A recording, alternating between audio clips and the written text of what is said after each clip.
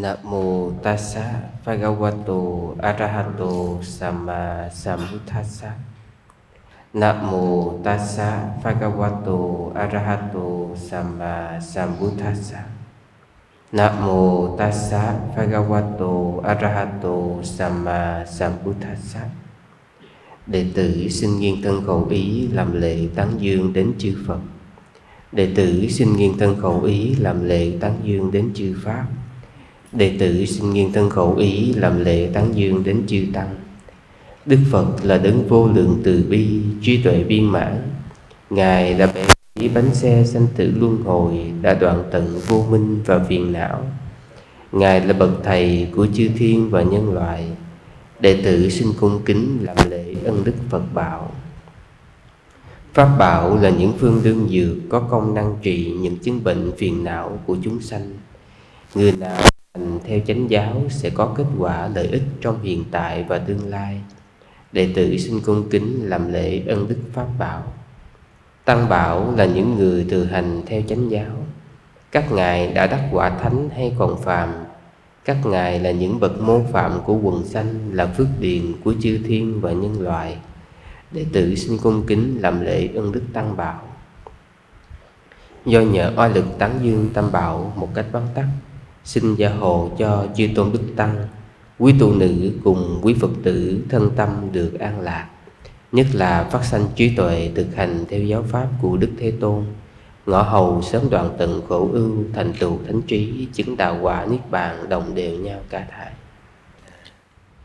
à, xin thưa với quý vị à, nhân cái à, câu hỏi à, hồi trưa thì sư có suy nghĩ là nếu như à, mình à, tự nhận mình là người phật tử, tự nhận mình là đệ tử của đức thế tôn, mà mình không biết gì về cái à, tam quy và ngũ giới của người cư sĩ tại gia, thì phải nói đó là một điều vô cùng thiếu sót. Cho nên ngày hôm nay sư muốn chia sẻ với quý vị à, về chủ đề tam quy và ngũ giới. À, đầu tiên á à, khi mà chúng ta quy y thì à, chúng ta tự nhận mình là người phật tử. Thì xin thưa với quý vị cái chữ phật tử nếu như mình xét đúng theo ý nghĩa từ thời đức phật thì nó cao dữ lắm. Không phải ai cũng xứng để gọi là phật tử đâu. Mà người phật tử có nghĩa là con trai và con gái của đức thế tôn. Phật là chính là đức thế tôn tử là con phật tử là con phật. Khi xưa ở trong à, thời kinh à, thời à, đức phật còn tại thế chỉ những ai chứng đắc thánh đạo thánh quả, thì đức thế tôn mới gọi đó là con trai và con gái của như lai. Và chỉ những ai chứng đắc thánh đạo và thánh quả, thì xem, mới xem đức thế tôn á, là cha, tự xưng cha của mình một cách rất là tự nhiên còn à, những người bình thường ngay cả các vị tỷ kheo cũng chỉ gọi là đệ tử của như lai chứ không gọi là con của như lai. Muốn gọi là con phật thì phải chứng đắc thánh đạo thánh quả. Nhưng mà theo dòng lịch sử thì dần dần à, người ta quan niệm là à, chúng sanh rồi ai cũng có khả năng thành phật. Cho nên chúng sanh trước sau gì cũng sẽ giác ngộ. Cho nên bây giờ mình gọi là ứng ứng trước xài trước chưa chứng mà mình xài trước. Thành ra mình cũng gọi mình là phật tử. Tức là cũng con trai con gái của phật tương lai sẽ sẽ trở thành. À.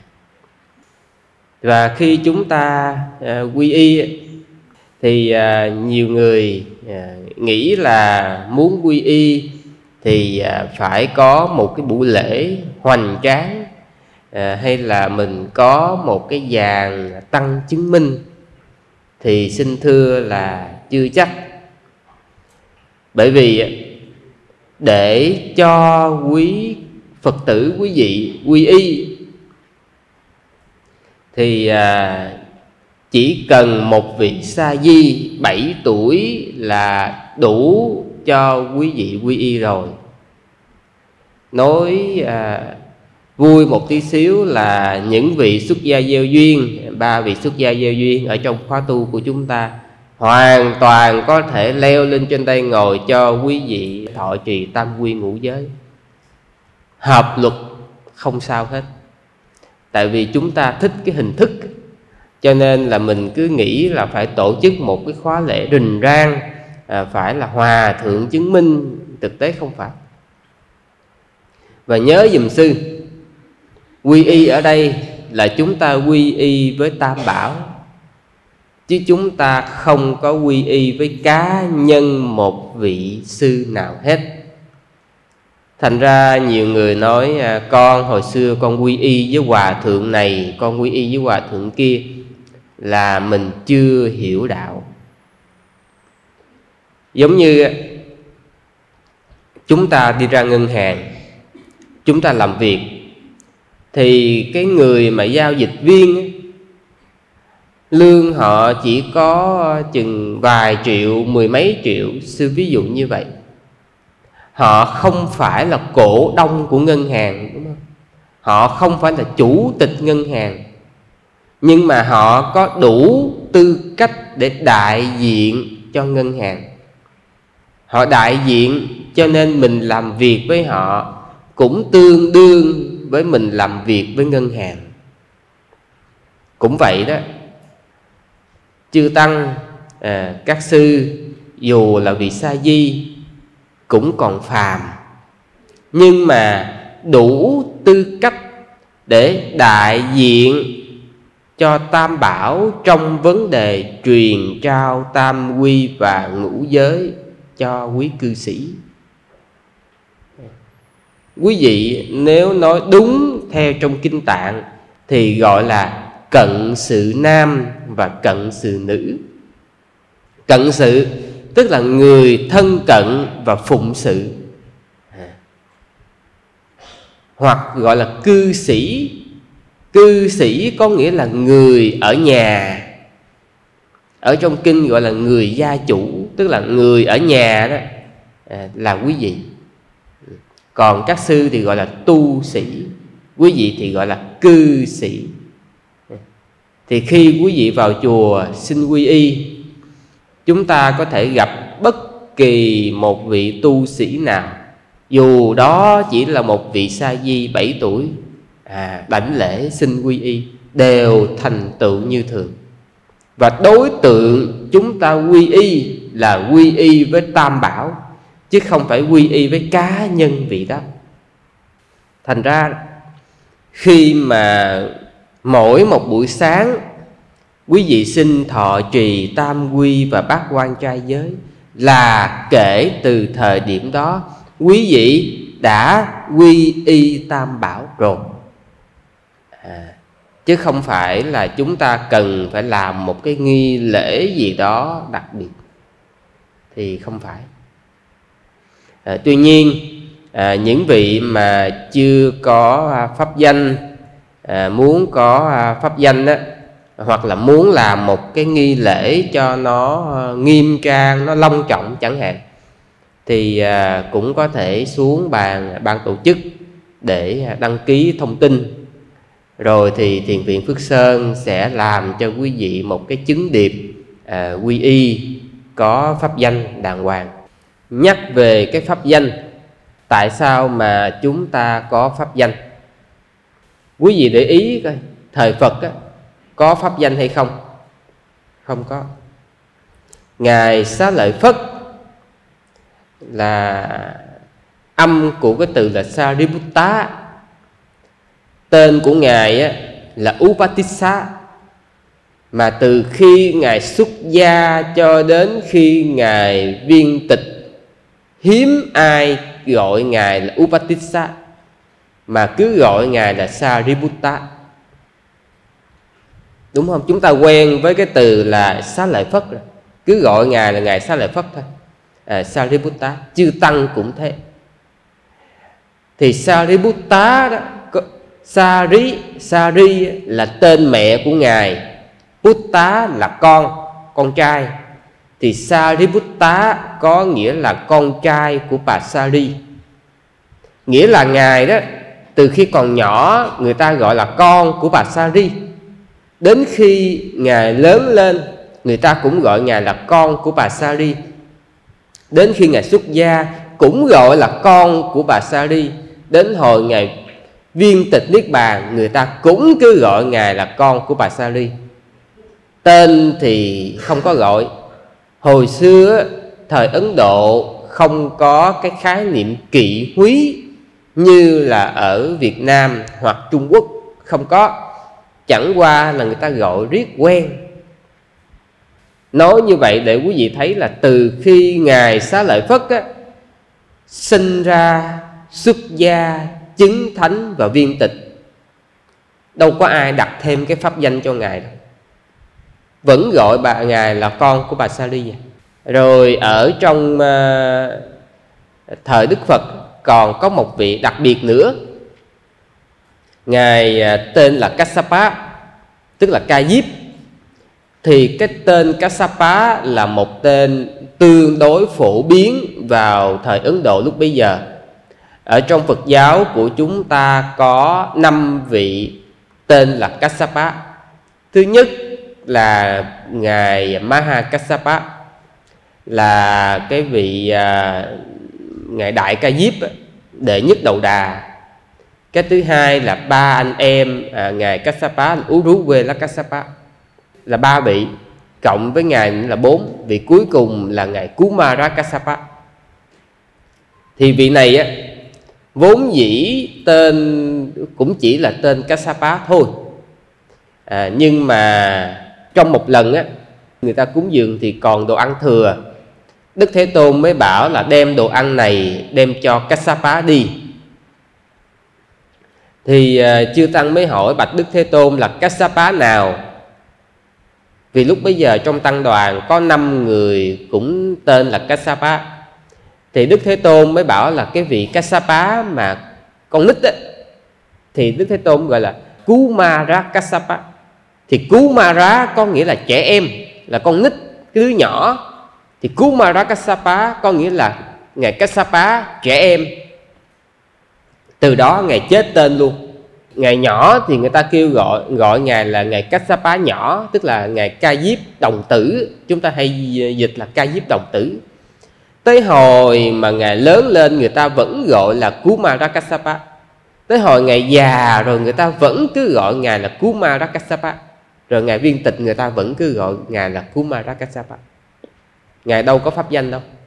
À, tên của ngài rồi à, có khi là người ta đặt à, dính liền với cái dòng tộc hoặc dính liền với cái xuất xứ hoặc là dính liền với một cái biệt danh nào đó. Cho nên thời Phật á, thì à, không có pháp danh. Cho đến khi Đức Thế Tôn nhập Niết Bàn rồi à, chư tăng truyền bá giáo pháp à, sang các xứ sở khác nhau dùng những ngôn ngữ khác nhau. Thì lúc bây giờ á đặc biệt là trong luật thì khi tụng luật á, khi chư tăng hành tăng sự các cái luật thì vẫn phải tụng bằng tiếng Pali. Ví dụ nha, bây giờ sư đang nói chuyện với quý vị là bằng tiếng Việt. Dạy thiền hướng dẫn thiền bằng tiếng Việt, thuyết pháp cũng bằng tiếng Việt, tụng kinh cũng bằng tiếng Việt, nhưng làm tăng sự là phải tụng bằng Pali. Cái đó là để đảm bảo tăng sự được thành tựu thì khi thành tăng sự như vậy thì phải gọi tên. Mà khi đang gọi tên như vậy đó à, thì à, mình phải dùng cái tên bằng tiếng Pali. Ừ. để mình hành tăng sự. Mà tự nhiên do cái nhu cầu đó đó cho nên mỗi một vị tỷ kheo khi xuất gia thì cần một cái tên Pali để khi hành tăng sự gọi được chứ nếu không thì dùng cái tên bằng ngôn ngữ địa phương tên tiếng việt nè hoặc tên tiếng anh nè hoặc tên tiếng thái là không dùng được để áp vô tăng sự. Tại vì pali á là cái ngôn ngữ có đuôi. Thí dụ như tên pali của sư là suthira suthiro thì trong một số cái tăng sự thì sẽ biến cái đuôi thành cái gì? Sú à, sú thi rasa hoặc là sú thi à, thi à, à, ra giá thì nó biến đổi cái đuôi cuối của cái từ Pali để nó phù hợp với cái ngữ pháp. Còn ông sư hạnh tuệ thì nó đâu có biến đuôi được không xài được. Đó cho nên là chư tăng lúc bấy giờ mới cần cái tên Pali để hành tăng sự. Từ đó pháp danh ra đời. Rồi thì à, à, cư sĩ tới chùa thì cũng muốn giống vậy đó muốn có được một cái tên. Thì à, chư tăng cũng chiều ý à, thì cũng cho một cái tên. Rồi thì ban đầu á, là tên bằng tiếng Pali. Rồi sau ví dụ như Phật giáo truyền qua Trung Quốc thì À, à một số vị thì không dùng tên bằng tiếng Pali nữa mà dùng tên bằng tiếng Hoa. Thành ra bây giờ một số vị tên à, gọi là tên pháp danh á, cũng không có tên Pali mà dùng cái tên bằng tiếng Hán. Ví dụ như là hoa tâm hoặc là diệu duyên thì đó toàn bộ là tiếng Hán. Chứ chúng ta à, ít vị là sử dụng tên à, pháp danh bằng tiếng Pali. Tiếp nữa là sư nhắc một lần nữa là khi quý vị quy y đơn giản như thế ha, đọc ba lần à, câu là à, tôi đem hết lòng thành kính xin quy y phật. Tôi đem hết lòng thành kính xin quy y pháp. Tôi đem hết lòng thành kính xin quy y tăng ba lần như thế là chúng ta đã thành tựu tam quy rồi. Như vậy, có thành tựu thì cũng có đức tam quy. Trong trường hợp nào là đức tam quy? Đó là khi chúng ta à, nương nhờ một à, đối tượng khác ngoài tam bảo. Mà phật bảo ở đây là chỉ cho đức phật gotama. Nhớ dùm sư nha phật bảo ở đây là đức phật gotama. Thành ra khi mà chúng ta nương nhờ vào một cái đối tượng khác ngoài ra thì chúng ta xem như đức tam quy. Ví dụ như à, chúng ta đi đến à, miễu bà chúng ta quỳ lại nương nhờ xin xỏ cái gì đó là đức tam quy là mình không còn là người phật tử nữa. Mình đến một cái đình nào đó mình cũng nương nhờ xin xỏ lấy một cái ấn chẳng hạn thì cũng là đức tam quy. Chỉ có một số trường hợp á à, mình à, lễ lạy mà không đức tam quy. Ví dụ như mình kính thì mình lễ. Giống như là người dân à, phải kính lễ nhà vua. Thì khi đó không tính là đức tam quy. Hoặc con cái kính lễ cha mẹ thì khi đó đó là mình không tính là đức tam quy hoặc à, là quý vị à, kính kính chư thiên thì mình à, lễ chư thiên nhưng mình không có nương nhờ chư thiên. Nhớ hai cái đó khác nhau ạ. À. thì cũng không tính là đức tam quy. Mà khi mình nương nhờ một vị nào khác là coi chừng mình đức tam quy. Khi chúng ta quy y Phật thì như sư nói Đức Phật ở đây là Đức Phật Gotama đây là một vị Phật có thật trong lịch sử. Về sau do nhu cầu hoàng pháp à, cho nên chúng ta xuất hiện gọi là nhiều vị Phật tôn giáo. Là vị Phật xuất hiện do niềm tin tôn giáo còn đức phật gotama là đức phật có thật trong lịch sử. Cho nên khi chúng ta quy y phật là chúng ta quy y với ngài chứ không quy y với một đối tượng nào khác. Cái từ mà bút thăng saranang mí thì cái từ mà bút thăng bút thá là đức thế tôn. À, sarana là sự nương nhờ nương tựa nương nhờ à, à gaccha mí. Mí là tôi. Mí là tôi nè. À, à, gaccha tí là đi đến. Thì bút thăng saranang gaccha mí là tôi đi đến đức phật là nơi nương nhờ. Hoặc mình dịch thoáng một tí là tôi đi đến để nương nhờ đức phật. Thì khi chúng ta nương nhờ vào phật ấy là để à, chúng ta học theo ngài lắng nghe lời dạy của ngài để chúng ta trở nên tốt hơn.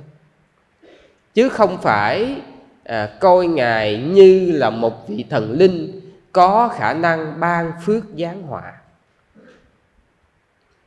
Phân biệt dùm sư cái này. Chúng ta đem lễ phẩm đến cúng dường đức phật. Ví dụ như bông, hoa, nhang, đèn cúng dường đến đức phật. Khi chúng ta cúng dường, chúng ta có cái phước bố thí cúng dường. Khi chúng ta lễ lạy đức phật, chúng ta có cái phước cung kính. Và chúng ta mong cái phước đó trổ quả như chúng ta mong muốn. Ví dụ như tôi mong cái phước này trổ cho tôi được sanh thiên. Hoặc tôi mong cái phước này trổ để cho à, tôi được à, giàu sang như ý. Nó khác với cái thứ hai là tôi đem bông hoa nhang đèn tới cúng dường đức phật. Tôi mong phật ban phước cho tôi để cho tôi được giàu sang tôi mong phật ban phước cho tôi để cho tôi được sanh về cõi trời. Đó là sự hiểu sai về đức phật. Phân biệt rõ hai cái khác nhau. Một cái là mình cúng dường ngài, nhờ đó mình có phước. Mình muốn cái phước đó trổ theo ý mình muốn. Còn cái thứ hai, giống như mình hối lộ cho phật mình đem đồ tới, mình cúng cho phật rồi mong phật ban phước cho mình. Cái thứ hai là cái tà kiến. Tại vì đức phật không có khả năng ban phước giáng họa. Phân biệt dùm sư hai cái này. Rồi liên quan một cái nữa. Quý vị đem lễ phẩm, vật phẩm cúng dường đến chư tăng. À thì khi quý vị cúng dường đến những bậc tu hành, chân chánh, quý vị sẽ có được cái phước do sự bố thí cúng dường đó. Chứ không phải là vị sư đó đem cái phước tu của mình á, đem cho quý vị. Hai cái đó khác nhau à. mình phân biệt rõ cái đó. Thành ra tránh thái độ xem đức phật như là một vị thần có khả năng ban phước giáng họa. Đừng có nghĩ là bây giờ ờ, tôi kính phật thì phật ban phước cho tôi mà tôi phỉ bán phật là phật giáng họa cho tôi thì không đúng. Đức phật yêu thương tất cả chúng sanh. Đê quá tát tá là đề bà đạt đa đó. Khi ông hại phật tới như vậy tới cuối đời á ông mới kêu đệ tử khiêng ông đến đảnh lễ đức thế tôn. Thì người đệ tử mới nói với à, đê của đáp tá rằng thầy hại phật như vậy mà thầy nghĩ sao phật gặp ngài? Thì đê của tát tá mới nói đó ông không hiểu phật. Phật thương la hầu la như thế nào? Là ra hú lá. Như thế nào? Thì phật thương cái người hại ngài y như thế đó. Tình thương của đức thế tôn không bao giờ phân biệt. Nhưng mà đê quá đá tá vẫn bị đất rút và không gặp được đức thế tôn. Đó là bởi vì ác nghiệp mà đê quá đá tá đã tự gieo chứ đức phật không hề trừng phạt đê quá đá tá mình tạo ác nghiệp là tự mình gánh ác nghiệp đó, chứ không có ai trừng phạt mình. Nó khác nhau. Bởi vì khi chúng ta hiểu chúng ta sẽ tránh cái thái độ là mình làm cái gì đó phù hợp với sở thích của ơn trên, thì ơn trên sẽ ban phước cho mình mà mình làm cái gì đó mà nó nghịch ý với ơn trên là ơn trên sẽ trừng phạt mình. Đó là cái hại của việc nghĩ à, là có một cái đấng có khả năng ban phước giáng hòa và nếu như mình xem phật như một vị thần có khả năng ban phước giáng hòa thì cái việc mình thay đổi đạo á, từ đạo phật sang đạo khác nó cũng giống như là mình đổi từ ông thần này qua ông thần khác. Mình không biết phật là ai. Thành ra mình cải đạo mới dễ dàng, do mình không hiểu phật. Còn khi mình nương tựa phật, mình hiểu phật dạy cái gì, mình nương tựa theo ngài, mình học theo lời dạy đó, mình thực hành, thì khi đó mình đạt được sự lợi ích. Lúc bây giờ có ai kề dao lên cổ kêu mình đổi đạo? Chưa chắc một người phật tử thuần thành đã chịu thay đổi. Vào thời phật có một ờ, ông phú hộ bị bệnh nặng rồi sau đó hết bệnh. Ông phú hộ mới bạch với đức thế tôn là bạch ngài ờ, nếu như mà có ai đó cho con một cái lá bùa để con uống vào mà con hết bệnh thì con thà chết con cũng không có uống. Tại sao? Tại vì căn bệnh này á, cùng lắm nó có thể làm con chết thôi.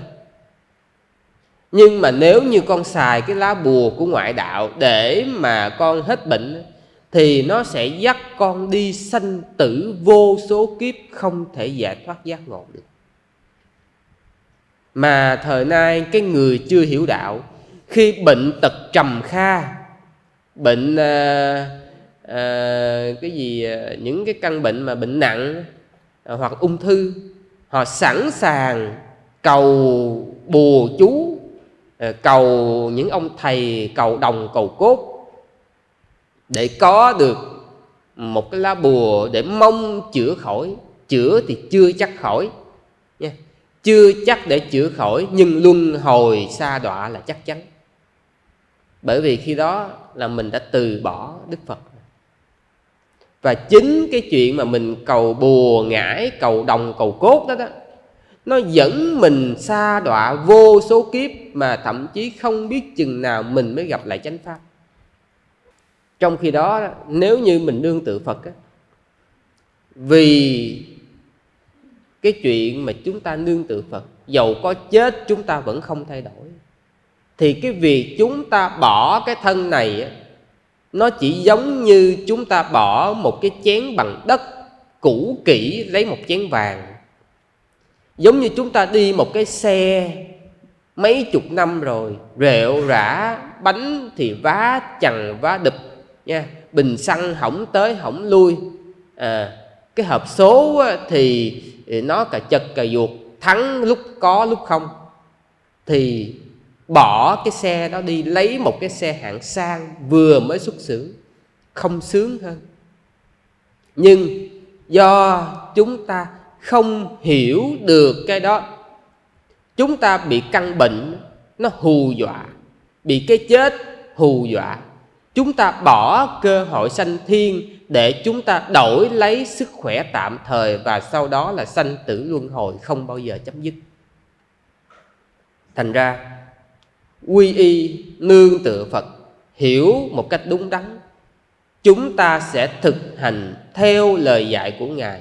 Có niềm tin một cách chắc chắn và chúng ta sẽ không dễ dàng thay đổi niềm tin đó đó mới là sự quy y phật.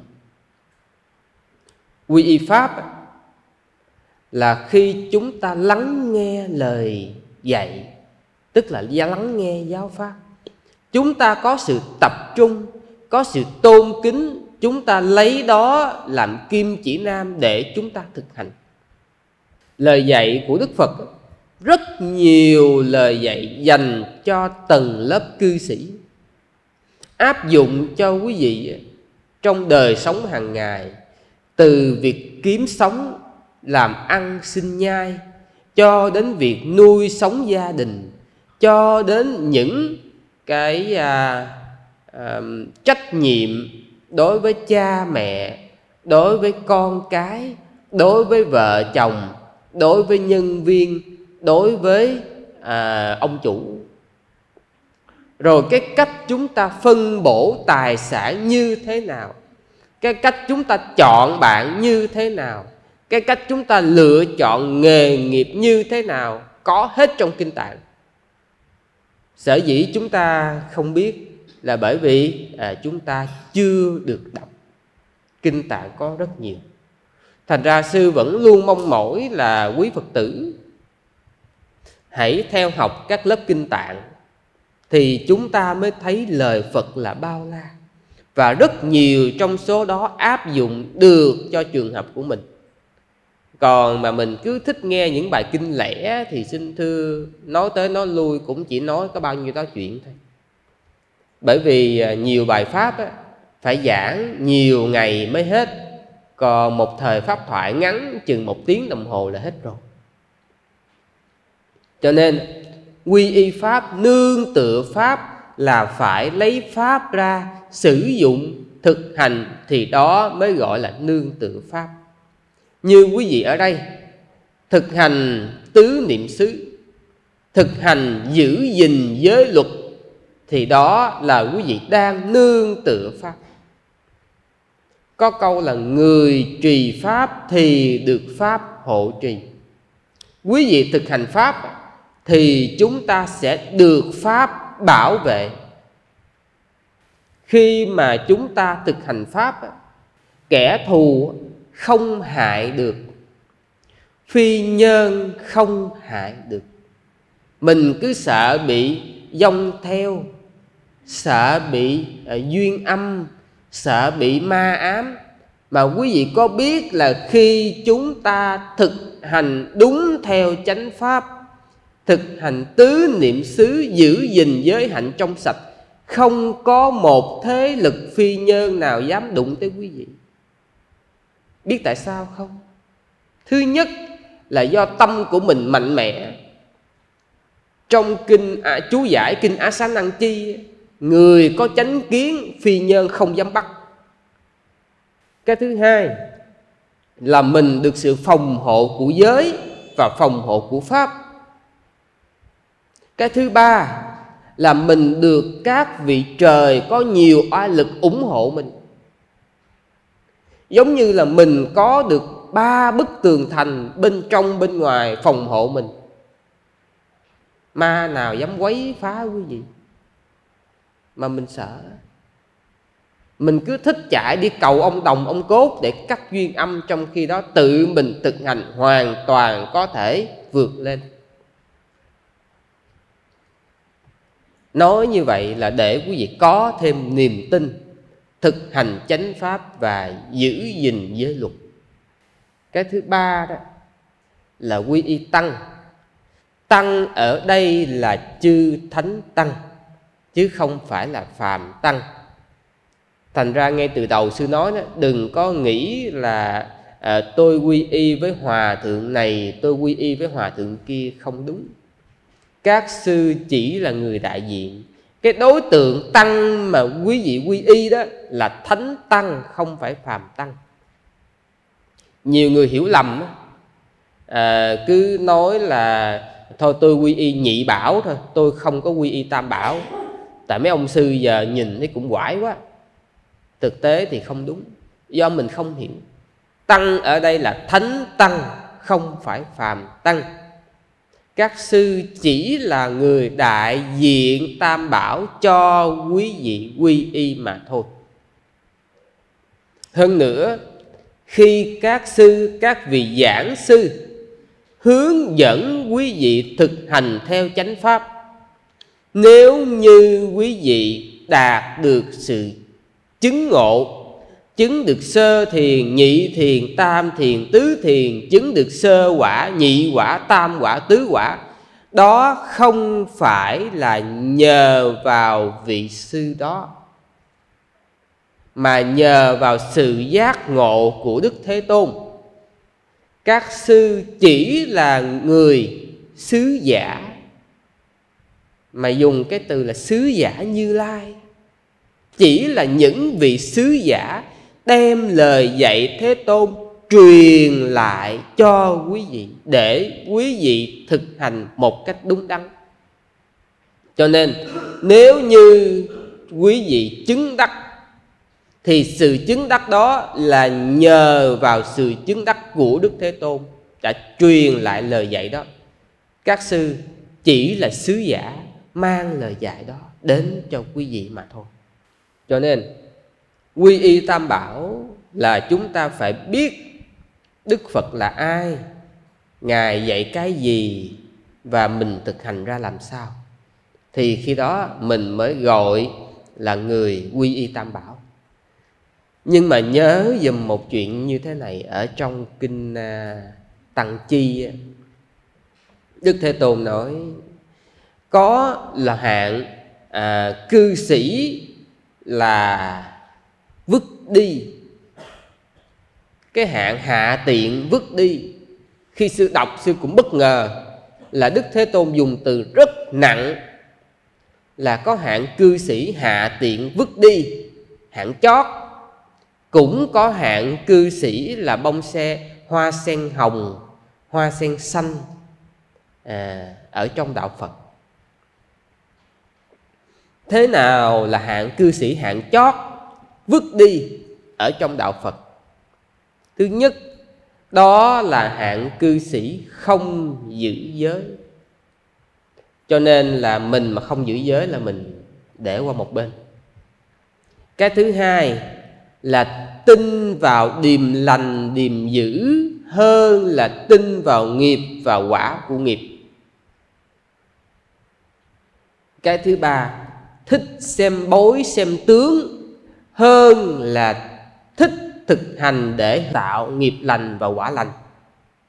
Thứ tư là tìm kiếm nơi ngoại đạo để tôn thờ, ủng hộ đặt bát cúng dường, hơn là tìm kiếm nơi chư tăng. Tức là mình ưu tiên phục vụ cho ngoại đạo, hơn là ưu tiên phục vụ cho chư tăng thì hạng cư sĩ đó xài không được. Còn cái hạng cư sĩ nào là hạng cư sĩ như hoa sen xanh như hoa sen hồng ở trong à, đạo phật? Đó là hạng cư sĩ biết giữ giới. Thứ hai là hạng cư sĩ tin vào nhân quả nghiệp báo hơn là tin vào điềm lành điềm dữ.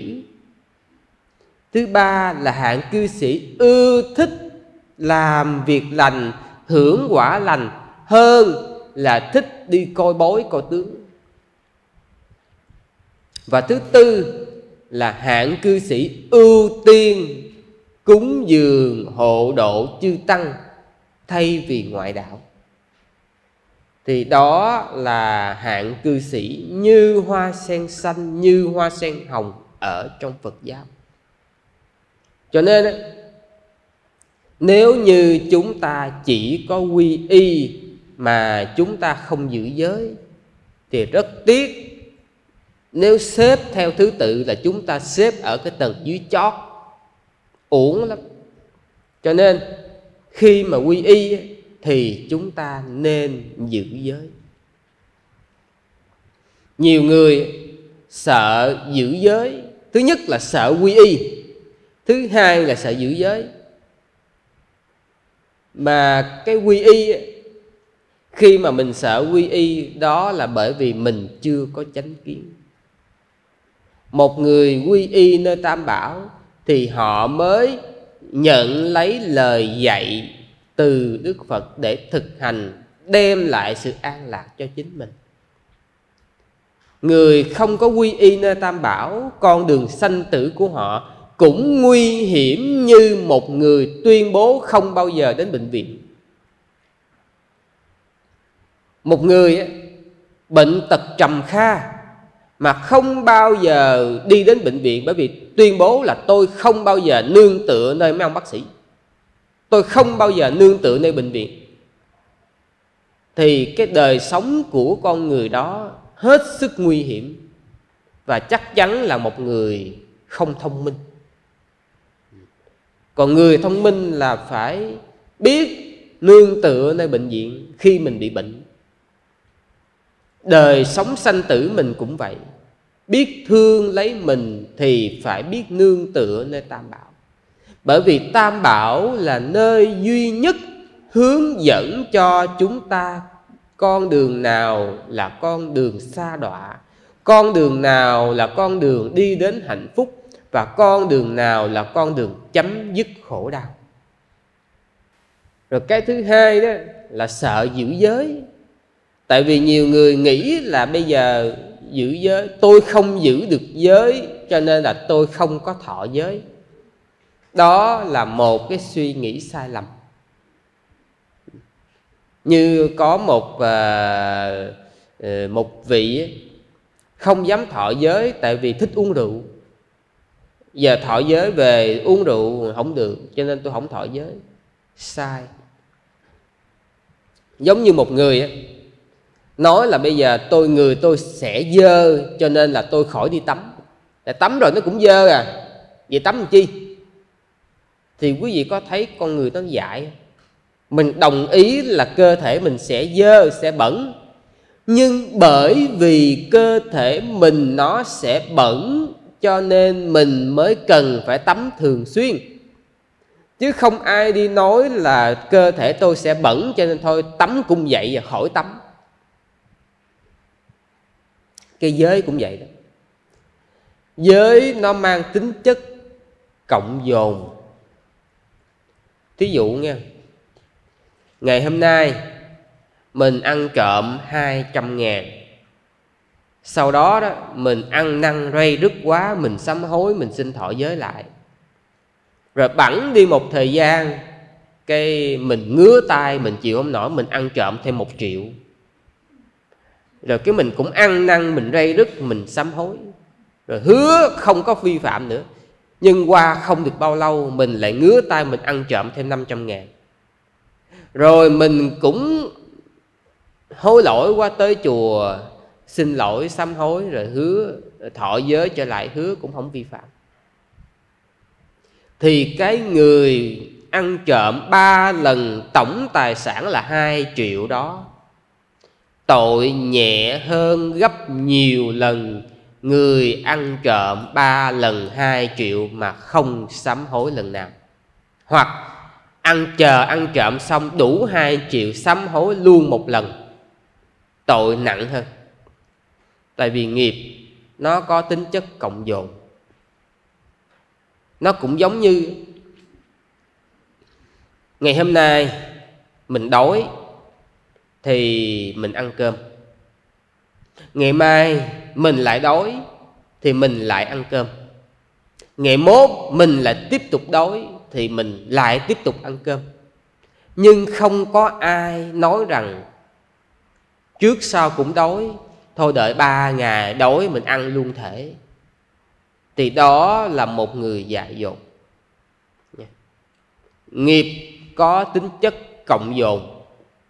Mà nếu mà mình để ba lần rồi mình sám hối luôn ấy, nghiệp nó cộng dồn. Tội nặng gấp nhiều lần, chứ không phải gấp chỉ có gấp một lần, gấp hai lần. Xin lấy ví dụ như thế này một vị tỷ kheo á, mà lỡ phạm tội trộm cắp, cái tội đó đó chưa có phạm bất cộng trụ nha. Vị đó phạm 10 lần, mỗi lần sau khi phạm xong đều sám hối thì vị đó chỉ phạm 10 cái tội à, ưng xả đối trị. Không sao hết. 10 cái tội ưng xả đối trị không sao hết. Nhưng nếu vị đó để dồn 10 lần đó cộng vào chung một lần luôn á nó đủ giá trị tài sản phạm bất cộng trụ là đủ thẳng ra tăng đoàn. Mà sư nói cái tội à, ưng xả đối trị là như thế này ví dụ như là bây giờ sư phạm ha thì sư sẽ gặp một vị tỷ kheo khác ngồi lại sám hối với vị tỷ kheo. À, tôi xin sám hối với đại đức là hôm nay tôi lỡ phạm cái lỗi đó đó. À, và tôi xin sám hối đại đức. Thì cái vị sư kia nói à, rồi sư biết thì nhớ mai mốt đừng có tái phạm nữa nha. Nói dạ vâng giờ con biết rồi. Như vậy là xong. Nó nó là nó nhẹ thì cũng không đúng nhưng mà nó nó không đủ nghiêm trọng. Giống như là cái bất cộng trụ. Bất cộng trụ là đức luôn, không còn là tỳ kheo nữa. Cho nên cái giới có tác dụng cộng dồn thành ra, cư sĩ nên thọ giới. Mà người á, thường xuyên không giữ được giới thì lại càng phải thọ giới thường xuyên. Nhờ như vậy giới của chúng ta thường xuyên được làm sạch thì chúng ta sẽ đỡ hơn rất nhiều so với cái việc là à, mình à, phạm thường. Rồi lâu lâu mình mới à, xăm hối một lần. À, lại một lần nữa là cái giới nó có một cái chuyện là mình càng chậm trễ trong cái việc sám hối rồi thọ lại cái giới mới trong sạch đó, thì cái tội đó nó càng nặng thêm. Giống như á một cái à, mình cái người mình cái cái áo mà nó bị dơ á mình không giặt để càng lâu nó càng bốc mùi. Cho nên chúng ta khi phạm giới nên sám hối thường xuyên và nên thường xuyên thọ lại giới. Còn tốt nhất là đừng bao giờ phạm giới. Một câu hỏi nữa là giữa một người có quy y thọ giới với một người không quy y thọ giới, khi phạm cùng một lỗi thì tội ai nặng hơn? Xin thưa, trên lý thuyết là như nhau tức là anh không theo đạo phật. Anh phạm giới và một anh theo đạo phật phạm giới. Trên lý thuyết hai tội đó nặng ngang nhau. Nhưng nhờ những chi tiết này mà người có thọ tam quy và ngũ giới à, được à, nhẹ tội hơn. Thứ nhất là khi vị ấy có thọ giới thì khi phạm giới, vị ấy có sự ăn năn rây rứt. Mà ở đây chúng ta gọi là tàm úy. Nhờ sự ăn năn rây rứt đó, nó thúc đẩy vị ấy khắc phục tội lỗi hoặc đi sám hối. Đây là điều mà một người không thọ kỳ quy giới khó có được. Cái thứ hai là khi chúng ta phạm giới nhưng mà chúng ta có quy y nơi tam bảo. Đời sau sanh ra, khi chúng ta chịu quả khổ, chúng ta biết về chùa níu áo phật. Quý vị thấy có biết bao nhiêu người cũng chịu cảnh khổ. Họ thà nhảy cầu, họ tự tử, chứ họ không có về chùa họ thà họ quay cuồng với cái bên ngoài đó. Thậm chí là họ bị điên loạn với cái bên ngoài đó. Họ không bao giờ biết quay về chùa. Nhưng có những người khi đau khổ, thất tình, chồng bỏ, thất nghiệp, phá sản, công ăn việc làm không như ý, gia đình đổ vỡ, vân vân và vân vân, họ, cái suy nghĩ của họ là quay về chùa để nương tựa. Như vậy đó à, chúng ta được một cái cơ hội đó là khi khổ quá mình biết quay về chùa nương tựa nơi tam bảo để tu học để thay đổi cái nghiệp của mình. À, để mình thay đổi để đời sống mình trở nên khá hơn. Còn cái người không quy y khi họ phạm giới họ không có cách gì để thay đổi cuộc đời của họ. Mà nếu như họ tìm ra một cách nào đó thì phương pháp đó không hề bền vững và chịu rất nhiều tác dụng phụ. Ví dụ như à, mượn nhờ bùa ngải để rồi sau đó xa đọa xuống các cảnh khổ. Khi nói về năm giới à, quý vị nhớ dùm sư. Sư nói cái này á là hàng cư sĩ là phải học thuộc lòng. Nha. Thứ nhất là cái giới không sát sanh. Để cấu thành à, cái tội này đó chúng ta cần phải hội tụ đủ năm điều kiện tức là một người phải phạm đủ năm điều kiện này thì mới gọi là một người sát sanh. Thứ nhất là chúng sanh có sự sống. Ví dụ như sư cạo đầu cái tóc nó rớt xuống thì cái tóc đó đó có phải chúng sanh có sự sống không? Không phải. À, các cô cắt móng tay thì cái móng tay sau khi rơi ra khỏi cơ thể, đó có phải chúng sanh có sự sống không? Không phải.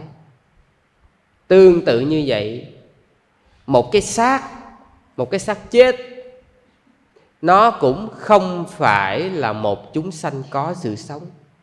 Bởi vì cái từ ba chữ quan trọng nhất là có sự sống. Còn chết rồi là không tính cái thứ hai là biết chúng sanh có sự sống. Ví dụ như trường hợp bồ tát bắn một cái mũi tên vào cái lá, con sâu ở đằng sau cái lá trúng tên nó chết. Bồ tát không biết, cho nên bồ tát không phạm giới sát sanh. Nhưng mà sư nhắc, không phạm giới, không có nghĩa là không tạo nghiệp trong trường hợp này con sâu oan trái với bồ tát ừ.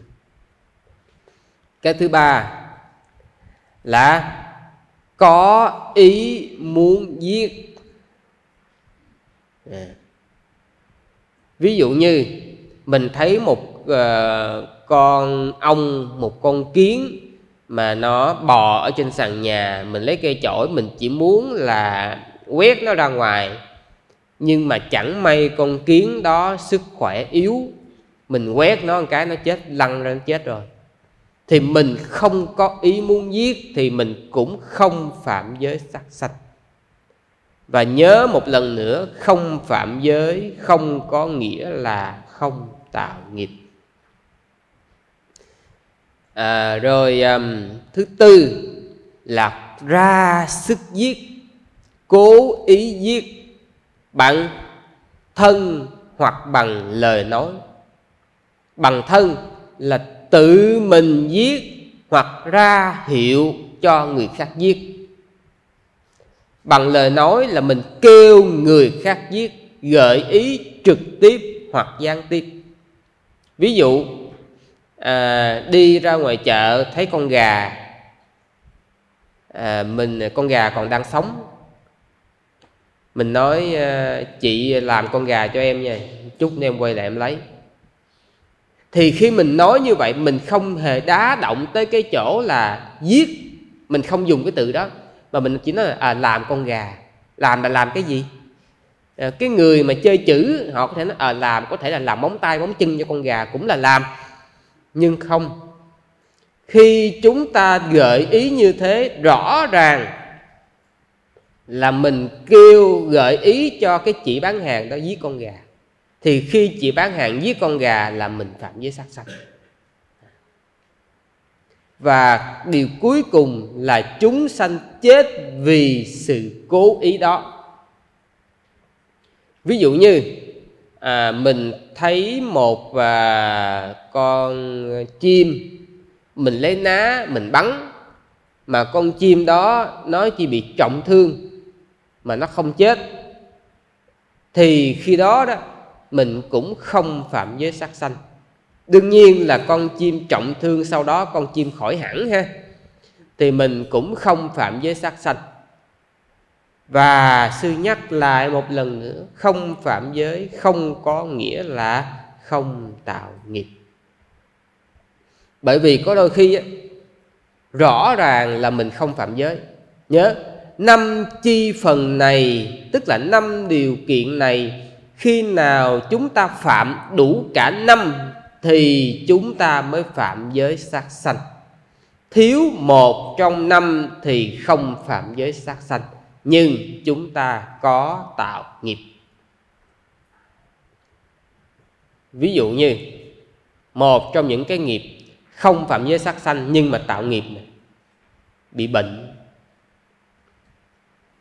khi mà mình, thí dụ mình có, mình cố ý mình giết cái con đó, nhưng mà con đó nó nhanh chân, nó chạy thoát. Thí dụ mình thấy con chó, mình cố ý là mình ném đá, mình chọi cho nó chết, mà mình chọi hụt, nó chỉ trúng cái chân con chó thôi. À thì con chó nó bị đau và nó chạy thoát. Thì cái nghiệp đó làm cho đời sau á, mình bị bệnh, mình bị sức khỏe kém. Nhớ nha, ở đây không có cái dòng con chó theo ám mình, không có chuyện đó nha. Đừng có hiểu lầm, nhiều người cứ thích đổ thừa. Không có cái vụ là dòng chó theo, không có. Mà do mình tạo ác nghiệp là mình làm con chó bị thương cho nên cái nghiệp trổ mình bị bệnh. Hoặc là một người á à, một đời giết heo. Cái người đồ tể một đời giết heo. À, cái này là người bạn của sư có ông cha đó ổng là làm cái nghề mổ heo. Khi mà ổng cận tử ổng gần chết ổng kêu như con heo kêu con heo kêu khi mà bị à, thọc tiết ra làm sao thì ổng kêu y như vậy, kêu mấy ngày mấy đêm ổng mới chịu chết. Thì cái đó không phải là có con ma heo nó nhập vào, không phải nha. Nói để cho chúng ta có chánh kiến. Không có một cái dông nào nó nhập vào ổng hết á. Mà do cái ác nghiệp, hồi xưa ổng sát sanh á, nó trổ cho nên là ổng phải chịu cái quả báo đó. Ổng bị thiêu đốt trong cái lửa địa ngục. Và cái tiếng rên xiết của ổng do cái nghiệp nghe như là tiếng heo kêu. Chứ ở đây không có cái dông nào hết. Xin lỗi, mấy dông mà nó biết nói là nó nó ra đây, nó nói là oan cho tôi quá, thiên hạ đụng cái gì cũng đổ thừa cho tụi tôi. Cái nghiệp của cái giới sắc sanh này đó, nó sẽ cho cái nghiệp là đi địa ngục. Việc đầu tiên là đi địa ngục trước. Anh có giết một con mũi, anh vẫn đi địa ngục như thường. Yeah. anh giết con người, anh đi địa ngục. Anh giết con mũi, anh cũng đi địa ngục. Và đừng bao giờ có suy nghĩ là tôi giết con mũi, mai mốt tôi làm mũi, nó giết lại tôi về không có.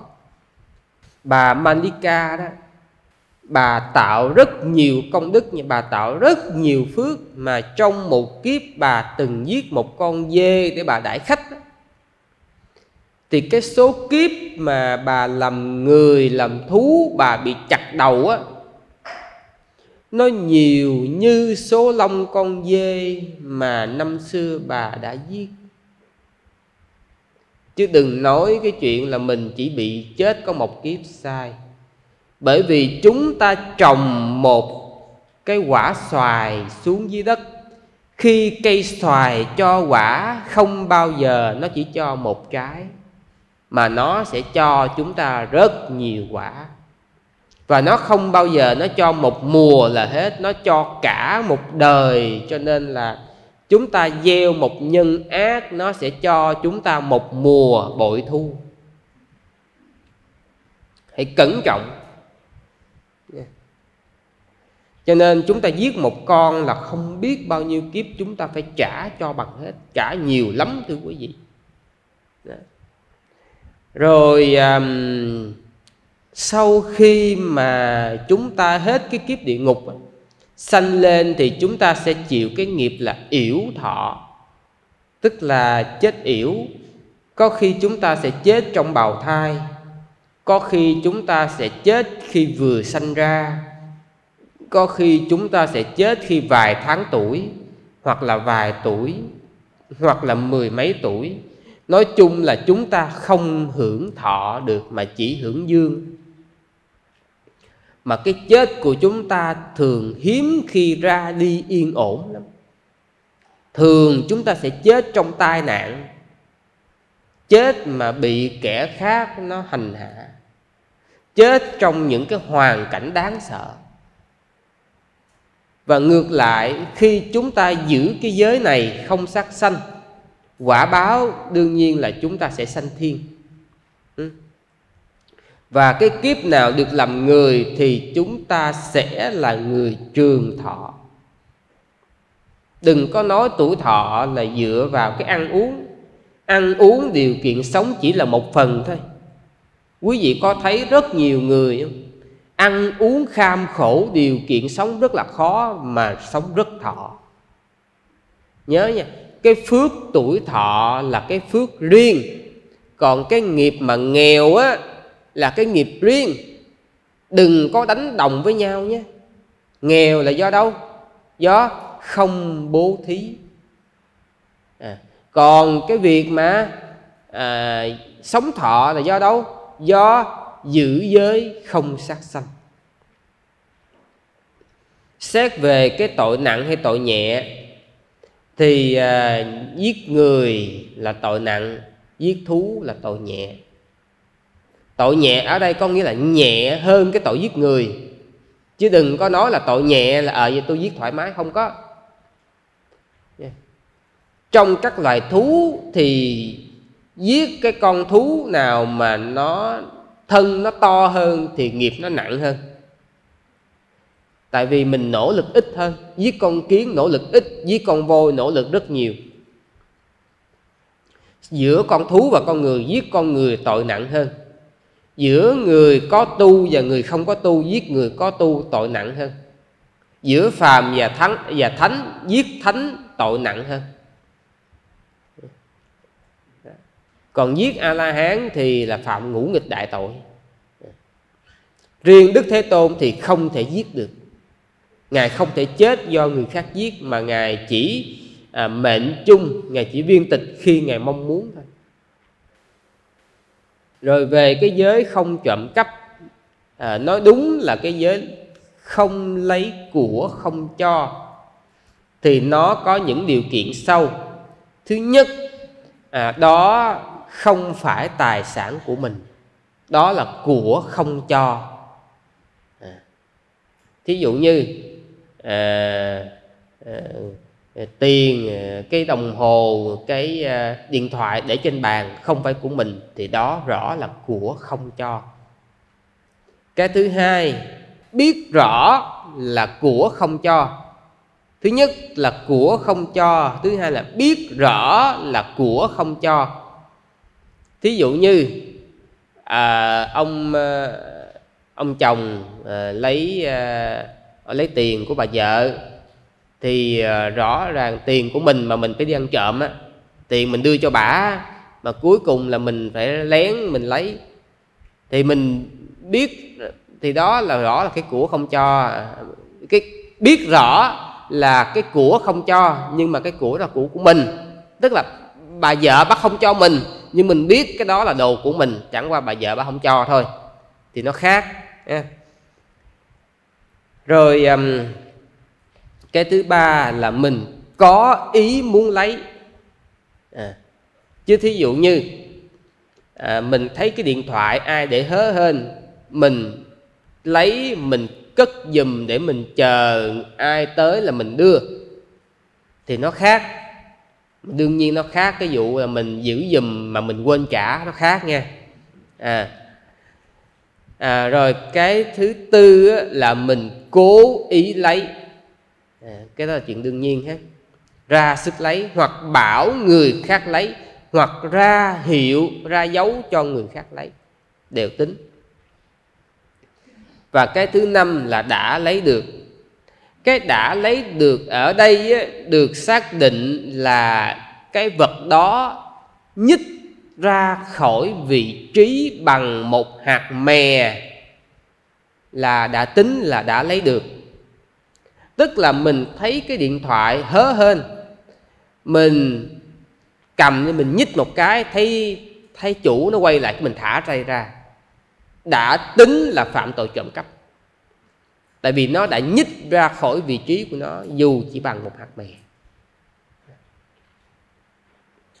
à, nói về cái à, cái tội này á, thì có những cái điểm à, điều lưu ý là khi mà chúng ta lấy của không cho nó sẽ cho cái quả báo là mình không giữ gìn được tài sản tức là tài sản sẽ bị mất theo nhiều cách. Hoặc là mình chôn đó rồi mình quên đi. Có bao giờ quý vị gặp trường hợp là mình giấu tiền, giấu đồ kỹ quá mình quên luôn không? Có nhiều khi đó là do cái nghiệp. Mình giấu, sau đó là mình quên luôn. Rồi cái thứ hai là do chư thiên là họ lấy mất. Là cũng có trường hợp mình giấu á, tới hồi mình tìm không ra nữa có khi là mình quên chỗ có khi chư thiên họ lấy. À. rồi um, cái thứ um, rồi tiếp lý do nữa là mình bị thiên tai. Thí dụ như chôn dưới đất thì uh, đất nó sạt lở thì cũng mất. À, rồi mình à, để trong nhà nhà cháy mất. Rồi bị gió giông bão mất. Lũ lụt nước cuốn trôi mất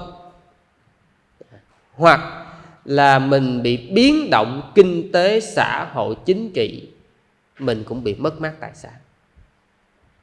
Hoặc là mình bị vua quan tịch thu. À. có những trường hợp mà hồi xưa gọi là tịch biên gia sản, không cần lý do, ông vua thích thì ông vua lấy thôi.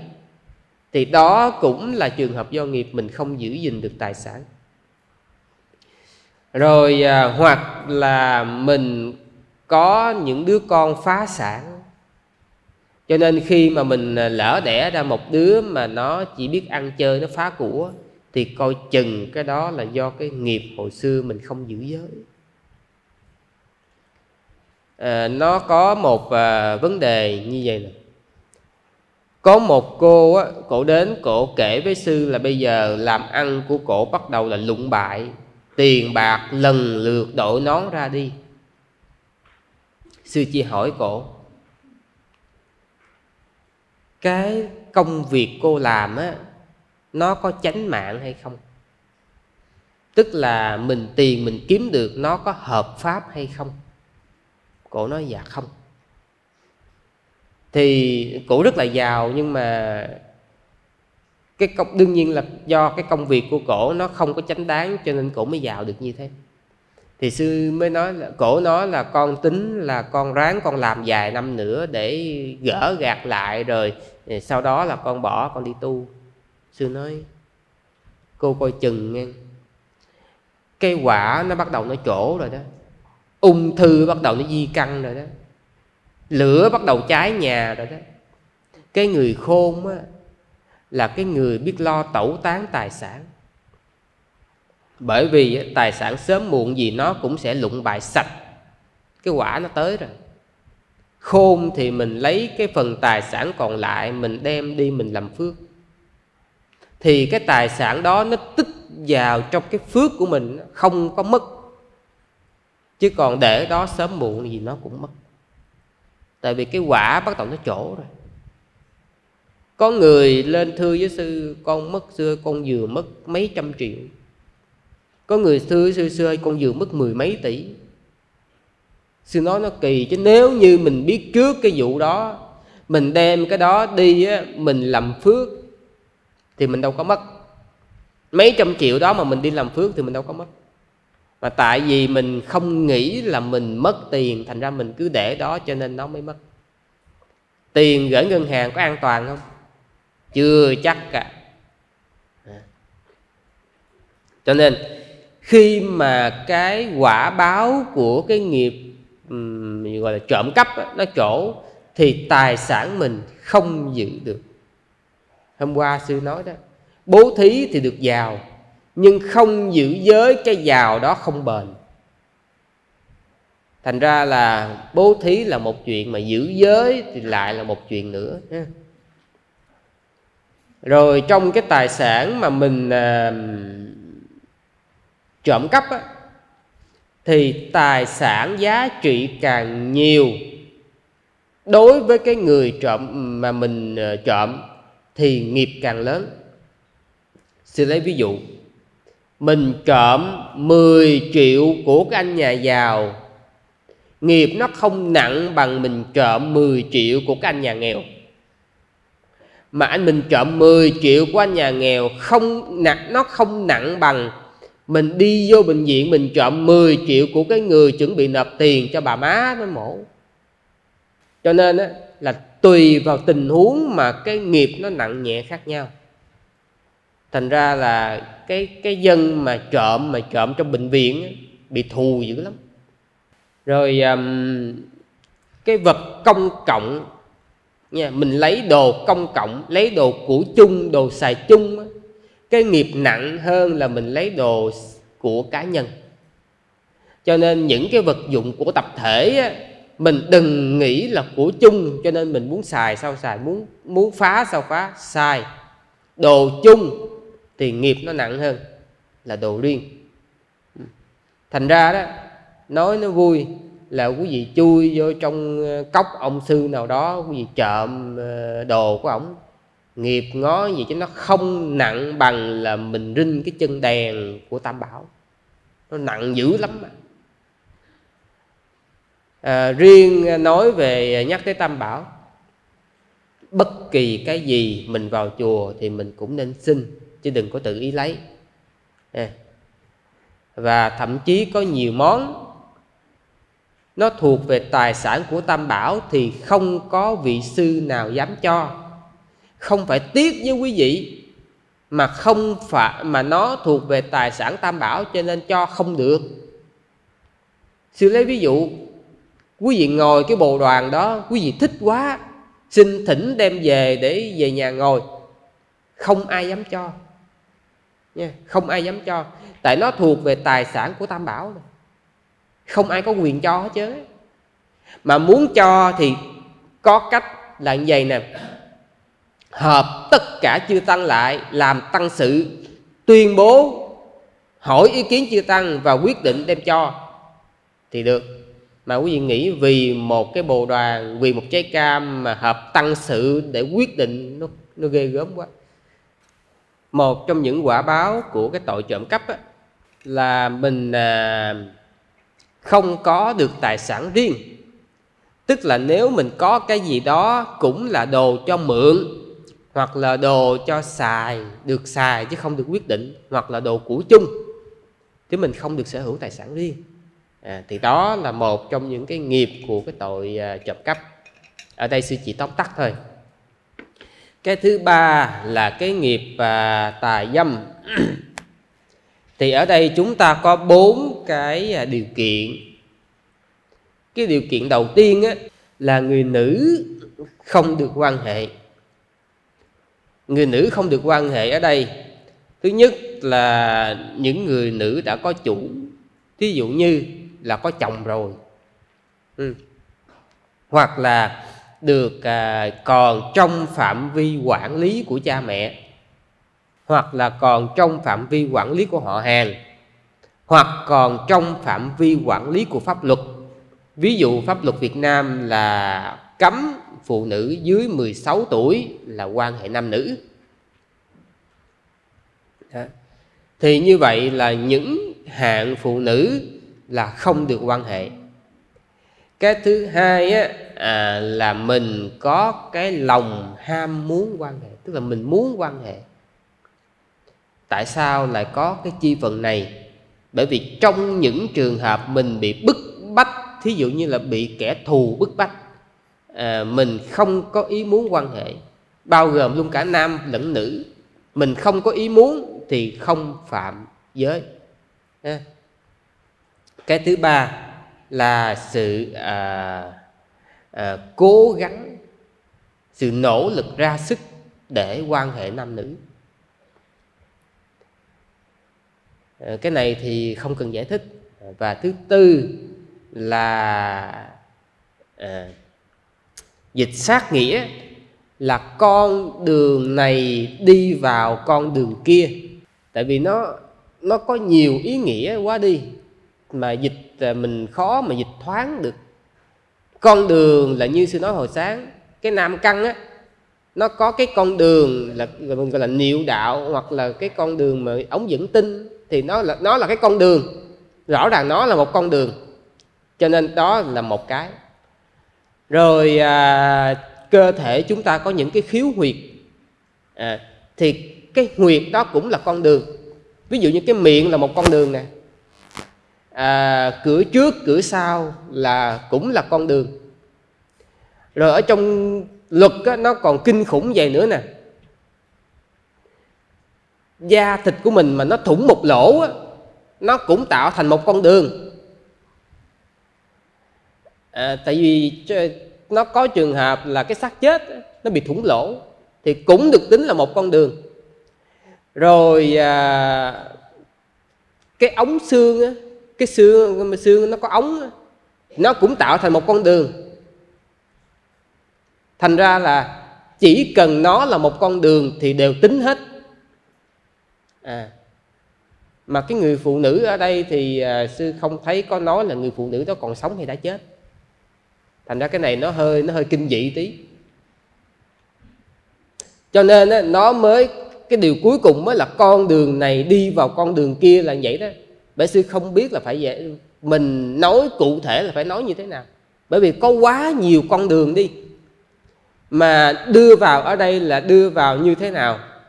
Có cần phải chờ nó xuất ra hay không thì chỉ cần đưa vào bằng một hạt mè đưa vào bằng một hạt mè là đã tính rồi chứ không cần là phải xong xuôi không cần phải xong chuyện không có. Bằng một hạt mè đã tính rồi. Và khi phạm đủ bốn chi phần này là chúng ta phạm với tài dâm ở trong chú giải á, thì nó lại có một cái điểm như thế này là trong quan hệ nam nữ mà nếu như cái người nữ mà rơi vào trường hợp là có cha mẹ bảo hộ có à, gia đình bảo hộ ví dụ như con gái lớn lên ở trong nhà ba má không cho nó tùy tiện ngủ với thằng nào hết mà nó thương anh đó quá cái nó lén nó ngủ với trai. Trong trường hợp đó người nam phạm tội tà dâm người nữ không phạm tội tại vì người nữ có quyền đối với cơ thể của mình. Cho nên trường hợp đó là đàn ông đàn ông lỗ. Ừ. nhưng khi mà kết hôn rồi là không được, là nữ cũng phạm tội tài dâm luôn. Tại vì mình kết hôn rồi á, thì mình xem như là tài sản của nhau tức là người đàn ông là tài sản của người phụ nữ và người phụ nữ là tài sản của người đàn ông. Chúng ta là tài sản của nhau cho nên không thể tùy tiện đi đến à, người khác được.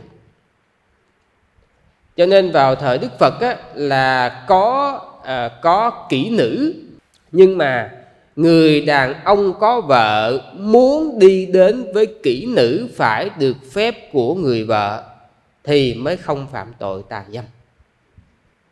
Bây giờ cho nên mấy ông mà muốn đi với bà nào nữa thậm chí muốn ăn bánh trả tiền cũng phải được sự đồng ý của các bà.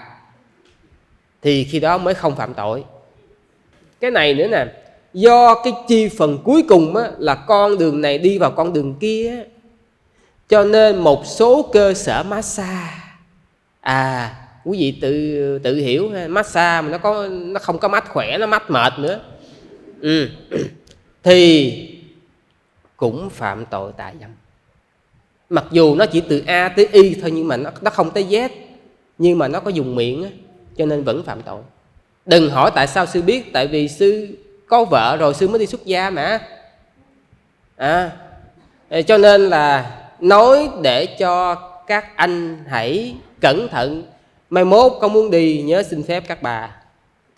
Thì cái nghiệp á, à, nghiệp nặng nghiệp nhẹ thì cái người mà à, có giới hạnh thì nghiệp sẽ nặng hơn là cái người không có giới hạnh.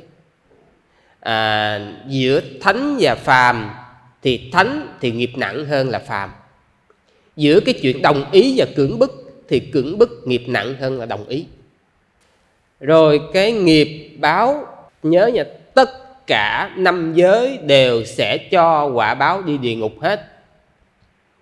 Và cái à, quả báo của cái nghiệp tà dâm á, hồi trưa sư có nói là nó sẽ cho chúng ta cái giới tính mà mình không hề mong muốn. Rồi à, mình có thể là mình à, rơi vào cái à, tình cảnh là mình nghèo khó tại vì khi xưa mình à, phạm tội tà dâm á, thì mình phạm lén lút á. cho nên nó làm cho mình sanh vào những cái khu giống như khu ổ chuột nè những cái nơi mà nghèo bần hàn. Tại vì nó thì cái lúc mà dục nó lên người ta bất kể dơ bẩn đúng không?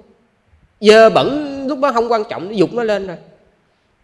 Thì mình sẽ sanh vào những cảnh giới thấp kém nghèo hèn.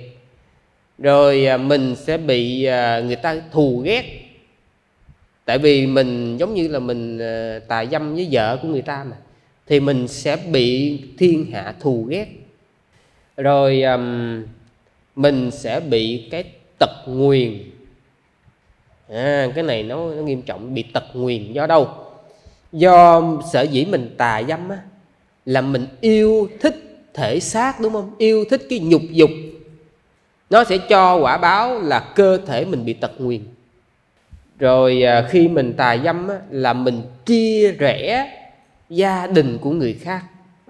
Thành ra mình sẽ bị một cái quả báo là mình sống trong một cái gia đình bị chia rẽ thí dụ như cha mẹ ly dị. Hoặc là mình bị bỏ rơi từ nhỏ. À, hoặc là mình sống trong cái cảnh là chết cha hoặc chết mẹ. Là do cái quả báo tà dâm đời trước rồi cái giới à, không nói dối. Cái giới này á nó có bốn cái bốn cái à, điều kiện. Thứ nhất là cái thứ không có thật cái việc không có thật. Cái thứ hai á, là mình có ý lừa dối. Có ý lừa dối là tại sao? Tại vì có những trường hợp à, mình phản xạ. Ví dụ như à, người ta hỏi à, à, cái món này còn hàng không em? Mình buộc miệng mình nói à dạ dạ còn chị. Nhưng mà mình sực nhớ ủa chết rồi hết hàng rồi. Thì mình mới bắt đầu là mình sửa lại à dạ còn nhưng mà à, chị chờ để em à, lấy hàng trong kho. Thì á khi mình phản ứng mình buộc miệng á dạ còn chị đó. Thì khi đó mình không có chủ ý nói dối khi đó mình không phạm giới nhưng mà cái sau cái câu sau mình nói là ờ à, chị chờ em chuyển hàng từ trong kho. Thì khi đó mình có chủ ý lừa dối. Thì cái sau nó lại phạm giới. Cái thứ ba là mình cố ý lừa dối. Cố ý ở đây là bằng thân hoặc là bằng khẩu. Tức là nó bao gồm cả việc là mình dùng chữ viết. À, thì nó cũng thuộc về cái giới này. Hoặc là mình ra hiệu mình ra dấu thì nó cũng thuộc vào cái giới này. Và cái điều kiện thứ tư điều kiện cuối cùng là người ta tin lời nói dối đó. Ví dụ như à, ông chồng ổng à, mua đi chợ ổng mua đồ mà ổng mua bị hớ ổng sợ bà vợ bà biết thì à, bà chửi cho nên là ổng về ổng à, ổng nói ổng nói giảm giá xuống ổng nói khác đi. Mà bà vợ thì bà rành sáu câu giọng cổ rồi bà bà biết chợ bà búa ra làm sao rồi. Bà biết ngay ông này ông nói dối ông nói dối. Cho nên bà không tin. Mà khi bà vợ bà không tin á, thì anh chồng không phạm giới nói dối. Cho nên những người mà nói dốc á giống như bác Ba Phi nói dốc, người ta nghe, người ta nghe cho vui, chứ người ta thừa sức biết cái chuyện đó không có thật. Thì trong trường hợp đó, cái nhân vật bác Ba Phi đó cũng không phạm giới nói dối. Nhưng mà sư luôn nhắc nhở, không phạm giới không có nghĩa là không tạo nghiệp. Vẫn tạo nghiệp, chẳng qua là không phạm giới thôi và cái à, tội nặng, tội nhẹ thì nó tùy theo mức độ. Ví dụ như giữa cái việc nói dối không hại ai và nói dối có hại ai thì nói dối có hại, tội nặng hơn nói dối không hại. Nhớ, nói dối không hại ai vẫn là tội nói dối. Chứ mình đừng nói là mình nói dối không hại ai là mình không phạm nói dối thì cái đó không đúng vẫn phạm tội, nhưng nó nhẹ hơn so với việc nói dối mà làm hại người khác, nhưng nó vẫn có tội đấy. Giữa cái việc là nói dối mà hại người á, ai mà nói dối hại nhiều hơn, nặng hơn thì tội nó sẽ nặng hơn. Rồi giữa cái chuyện mình lừa dối thì lừa dối thông thường thì nó và lừa dối sở chứng thì lừa dối sợ chứng tội nặng hơn.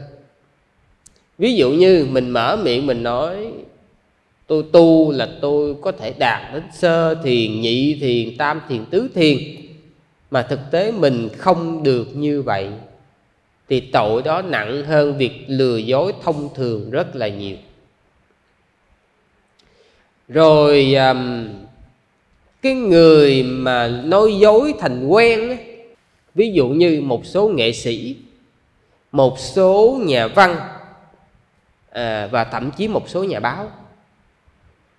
Lừa dối nói dối thành quen thì tội đó sẽ nặng hơn là một người thỉnh thoảng mới lừa dối. Cái nghiệp thì nó sẽ cho chúng ta những quả báo liên quan đến khẩu ví dụ như bị các bệnh về miệng và ví dụ như là uh, răng hô rồi bị mớm rồi bị ờ, răng so le rồi bị ờ, môi hở hàm ếch à, hoặc là bị hôi miệng. Đó nói chung là tất cả các tật về miệng. À, hoặc là nói lắp nói cà lâm nói ngọng ngoài ra đó, cái tội nói dối nó còn cho một cái loại nghiệp, đó chính là cơ thể bị khiếm khuyết. Ví dụ như là mình, tự nhiên người ta có hai cánh tay, mình có ba cánh tay. Người ta, tay có năm ngón, tay mình có sáu ngón, hoặc tay mình có bốn ngón.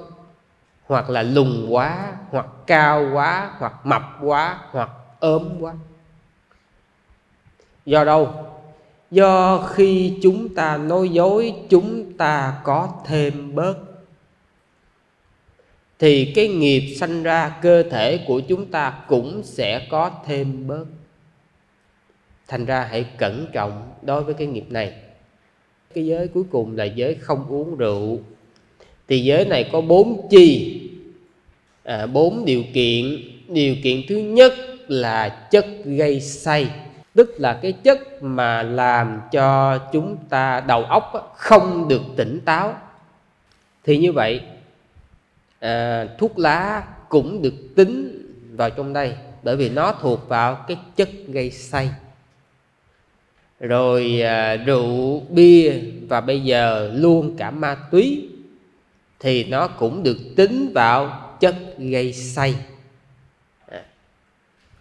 à, cái thứ hai á, là có ý muốn uống.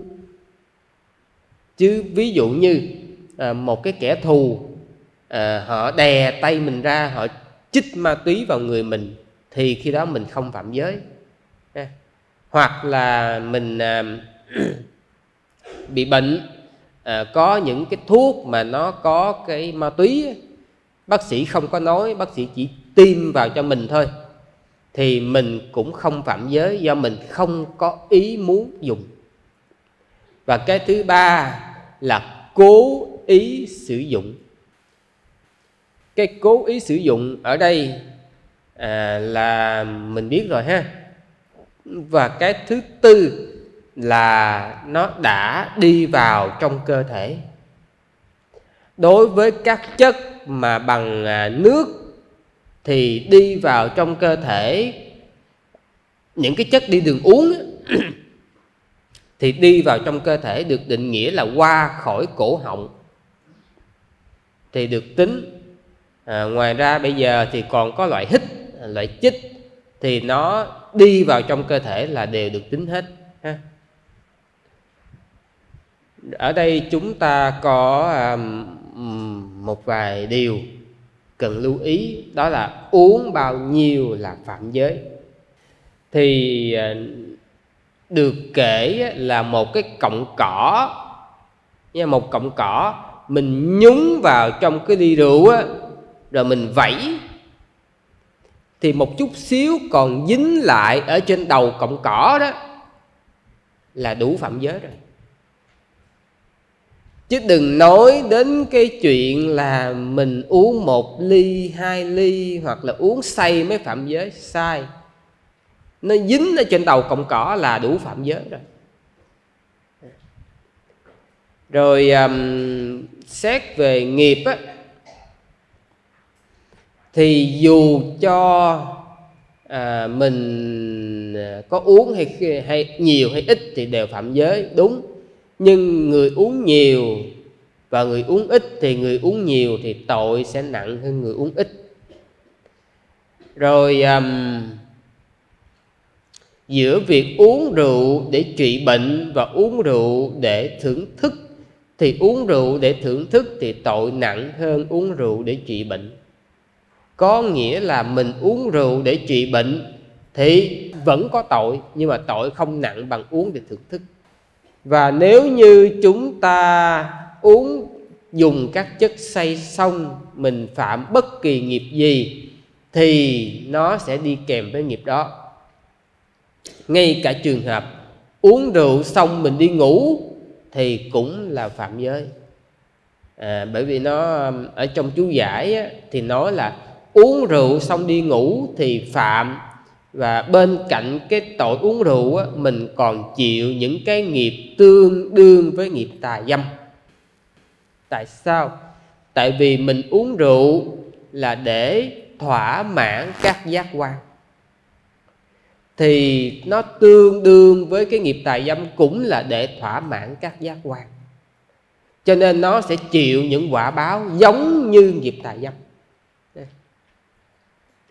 quả báo của việc uống rượu là chúng ta sanh ra làm người điên loạn.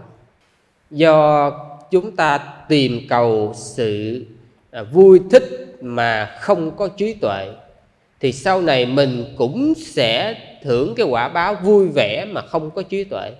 Tức là mình cứ cười hoài à, à cười hoài à mà nó bị khùng. Đó. Thành ra là hãy cẩn trọng với cái nghiệp này mà khi cái nghiệp đó nhẹ hơn nữa, thì mình sẽ chịu cái cảnh là mình ngu dốt. Tức là học hoài không thuộc, nói hoài không hiểu, làm hoài không được. Đó. hoặc là người mình nó cứ khờ khờ, khạo khạo.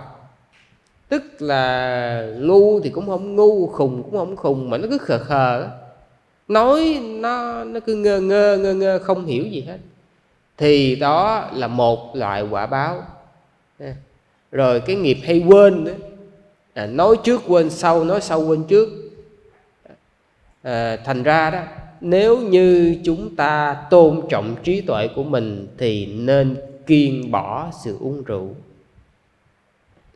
Và cái nghiệp uống rượu nó còn đưa ra một cái quả báo như thế này là mình sẽ vô duyên với đạo quả. Tại vì với một cái đến một kiếp nào đó sanh vào thời kỳ có chánh pháp mà mình bị điên loạn thì mình cũng không thể nào tiếp cận được chánh pháp để tu hành. Cho nên nó chất quất. Thành ra là mình hãy cẩn trọng và nhớ cái à, chuyện mình uống rượu nó vẫn dẫn mình đi địa ngục như thường. Nói nó hơi kỳ chứ nếu như quý vị nói bây giờ mình à, nể nang cho nên mình mới phải uống rượu thì sư hỏi nhỏ là mình có đủ nể người ta để mình nốc một chai thuốc trừ sâu hay không Ví dụ như bây giờ đối tác làm ăn nể nhau quá để ký hợp đồng với điều kiện anh phải nốc chai thuốc trừ sâu trước mặt tôi thì tôi mới ký. Hoặc bây giờ tôi nể sếp quá thì tôi phải nốc cái chai thuốc trừ sâu thì sếp mới tăng lương mới thưởng cho tôi. Thậm chí không thưởng không tăng lương chỉ để lấy lòng sếp thôi tôi nóc chai thuốc trừ sâu. Có đủ nể để mình uống chai thuốc trừ sâu hay không? Hình như không. Mà ở trong luật á, thà mình uống chai thuốc trừ sâu á ngó vậy chứ nó lành hơn mình uống rượu tại sao vì cái việc mình uống chai thuốc trừ sâu, nó có thể đưa mình đến sự đau khổ gần chết hoặc đi đến cái chết. Nhưng không vì vậy mà nó đưa mình đi xuống địa ngục. Nhưng cái chuyện mình uống ly rượu á, nó đưa mình đi xuống địa ngục. Mà không chỉ một kiếp mà nhiều kiếp. Chẳng những như vậy, sau khi lên khỏi kiếp địa ngục mình phải sống trong cảnh điên loạn. Thì rõ ràng mình uống cái, cái chai thuốc trừ sâu á, rõ là không nên nha sư không khuyên ai uống thuốc trừ sâu. Nhưng nó còn lành hơn là mình uống rượu. Thành ra à, sau này quý vị nên suy xét rồi mình bỏ rượu đi. Nếu mà bỏ không được á ráng à, sắm cái chiếc ô tô hoặc là sắm à, xe xem à, chiếc chừng vài trăm triệu để anh chi nói à, hôm nay em phải lái xe em không dám uống uống nó thổi nồng độ cồn. Thì đó là năm giới của cư sĩ tại gia. Và khi chúng ta hiểu thế nào là quy y thế nào là giữ giới thì chúng ta mới có cơ hội trở thành người đệ tử hoa sen hồng người đệ tử hoa sen xanh trong giáo pháp của đức thế tôn. Sư mong là quý vị ghi nhớ, và năm giới này là mình phải học thuộc lòng nghe. Các chi phần, các điều kiện là mình phải học thuộc lòng. Và mong là quý vị sẽ đạt được nhiều sự lợi ích à, thông qua bài pháp thoại này. Xin chia đều phần phước này đến tất cả chúng sanh. Mong cho tất cả chúng sanh được thọ hưởng tùy ý sau khi đã thọ hưởng rồi, được thoát khỏi những điều thống khổ, được kết quả làm người, quả trời cùng quả niết bàn. Nguyện cầu tam bảo từ hàng độ, nguyện thoát ba tai nước lửa binh. Nguyện thầy chúng sanh khỏi oan kết. Nguyện cho nhân loại sớm tu hành. Nguyện gìn tam học giới định tuệ. Nguyện đoạn tham sân si độc sanh. Nguyện giải căn nhân sanh tử khổ. Nguyện diệt tâm tham háo lợi danh.